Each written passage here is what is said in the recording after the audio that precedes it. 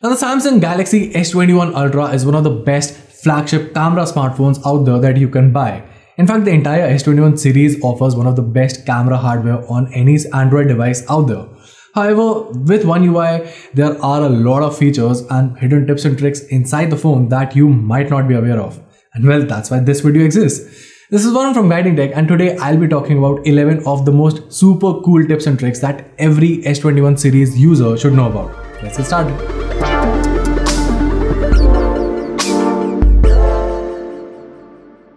Okay, so first up, let's talk about how we can save up some space while shooting images or recording some videos by saving them in more efficient file formats, basically HEIF and HEVC respectively. To do that, open the camera app. In the photo mode, tap on settings and then tap on format and advanced options. Here enable the toggle next to HEIF pictures. Similarly, in the video mode, open settings and tap on advanced recording options and then enable the toggle next to high efficiency videos.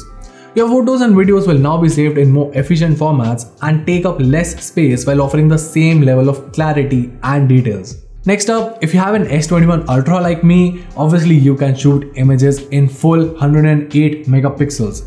Yes, by default the images are pixel binned, but you can enable the 108 megapixel mode to well shoot in the full resolution. For that, just open the camera app and tap on the ratio icon here. Now tap on 3 to 4 but 108 megapixel and that's it. Your photos will now be shot in full resolution.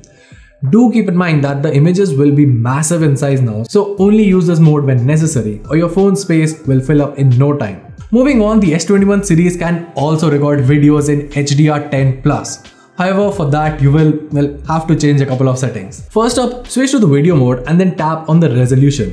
Make sure that this is set to Full HD. You can choose between 30 fps, 60 fps or auto, but the idea here is that the resolution needs to be Full HD only. Now tap on settings, advanced recording options and now enable the toggle next to HDR10 plus videos. And that's it. Okay now did you guys know that you can create easy and super fun GIFs right from your camera app by just holding down on the shutter button? Well you can and it's super easy to use. Just head over to the photo camera settings and tap on swipe shutter button too. Now change it to create GIF and that's it. So basically whenever you're in the camera app, just swipe down the shutter button and hold it while the phone starts snapping images to then make a cool GIF of. Isn't this great? Moving on, the S21 series comes with a lot of video recording modes, one of which is the director's view. To enable it, tap on more in the options below and then tap on director's view. So what it does is that allows you to record a video with both the rear and front camera working simultaneously while you can actually view content from all the four lenses. Additionally, you can tap on the layout icon here to toggle between PIP, basically picture in picture, or split screen. Another shooting mode that the S21 series comes with is the portrait video mode. So basically what it does is that it basically enhances or puts more focus on the subject's face while well illuminating or de-illuminating the background in a separate way so that the focus remains on your face. To use it, tap on more in the options below and then tap on portrait video. Once the camera identifies a face, it will automatically start blurring the background.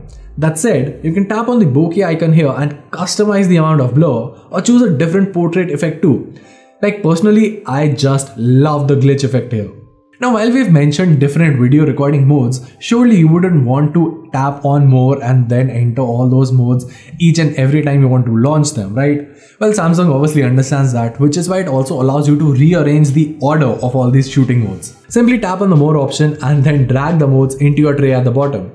You can rearrange your modes as per your liking too. Once you're satisfied with your setup, just tap on save to well, save the changes. Alright, now if you're someone who captures images of subjects that, well, move quite a lot, you know that it can be quite a tedious task to keep the frame always in focus, or basically the subject always in focus. Thankfully, the S21 comes with an easy toggle to make this entire job, well, less tedious. Just head over to photo settings, scroll down and under the useful feature section, enable the toggle next to tracking autofocus.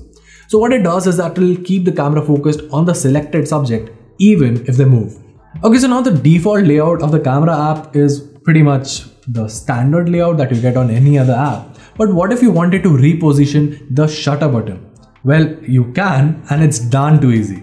All you need to do is tap and swipe on the shutter button. It will open a floating button that you can place anywhere on the screen. Once you're done with it, just drag it back at the original shutter button to remove it. Simple and quite effective. Moving on, single take is one of the most talked about features of the recent Samsung devices. With the S21 series, you can even fine tune the shooting time or the recording time that the single take mode will work on, thus resulting in more and more results for you. If you want to wrap the recording up in just 5 seconds, tap on the little timer on the lower right corner and then drag the slider right. Single take can go up to 15 seconds. Other than that, the feature is the same magic feature where it will automatically generate images and videos from the raw snippet that you just captured. Apart from being super great and sharp and detailed, the S21's camera is also quite smart. I mean with this phone you don't even need to install a scanning document, your camera can do that right out of the box. To do that, head over to the camera settings, Scene Optimizer and switch on the option for a document scan. Now whenever the camera senses a document in front of it, it'll show you a yellow scan button. And well, that was it. If you like this video, make sure to let us know by giving us a thumbs up and subscribe to our channel for more awesome tech content. Till then, this is Varun from Guiding Tech and I'll see you in the next one.